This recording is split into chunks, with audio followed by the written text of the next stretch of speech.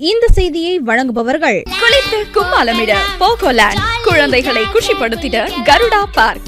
குடும்பத்தோடு படகு சவாரிக்கு போட் ஹவுஸ் போகோலேண்ட் உசுட்டேரி புதுச்சேரி. பிரசித்தி பெற்ற காரைக்கால் அம்மையார் மாங்கனி திருவிழாவை முன்னிட்டு நடைபெற்ற பந்தக்கால் முகூர்த்த நிகழ்வில் ஏராளமான பக்தர்கள் கலந்து கொண்டனர். புதுச்சேரி யூனியன் பிரதேசம் காரைக்காலில் பிரசித்தி பெற்ற காரைக்கால் அம்மையார் கோவிலில் காரைக்கால் அம்மையாரின் வாழ்க்கை வரலாற்றை நினைவுகூரும் வகையில் ஆண்டுதோறும் ஒரு மாத காலத்திற்கு மாங்கனி திருவிழா விமர்சையாக கொண்டாடப்படுவது வழக்கம். இந்த ஆண்டு மாங்கனி திருவிழா வரும் ஜூன் பத்தொன்பதாம் தேதியன்று மாலை மாப்பிள்ளை அழைப்பு நிகழ்ச்சியுடன் தொடங்குகிறது. முக்கிய நிகழ்ச்சிகளாக ஜூன் இருபதாம் தேதி காலை திருக்கல்யாணம் ஜூன் இருபத்தி ஓராம் தேதி சுவாமி வீதி உலா மாங்கனி இறைத்தல் நிகழ்ச்சியும் நடைபெறுகிறது.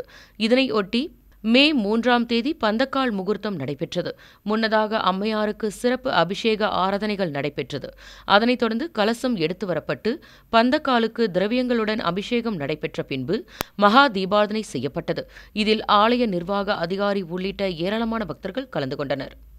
உங்கள் ஏஎம்என் டிவி செய்திகளை யூடியூபில் உடனுக்குடன் காண ஏஎம்என் டிவி பாண்டிச்சேரி சேனலை சப்ஸ்கிரைப் செய்யுங்கள். பெல் பட்டனை மறக்காமல் கிளிக் செய்யுங்கள்.